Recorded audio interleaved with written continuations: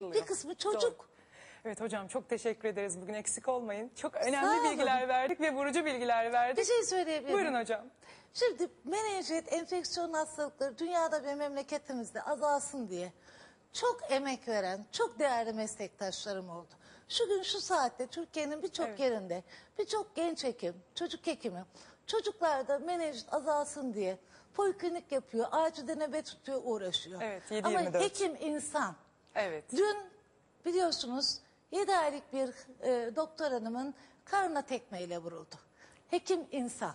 Evet. Bu kadar birbirimize vahşi olmayalım. Çünkü hekim hastayla aynı tarafta. Ve güvenilir. E, Bu Evet. anlamda da teslim alıp güvenmek lazım. Yaşa, yaşattıkça biz varız. Hocam çok teşekkür ederiz. Ağzınıza ve yüreğinize Sağ sağlık eksik olmayın. Efendim kendine iyi bakın. İlk bölümde menenjit hastalığı ve tedavisini konuştuk. Çocuk sağlığı hastalıkları ve çocuk nörolojisi uzmanı Profesör Doktor Yüksel Yılmaz hocamızla.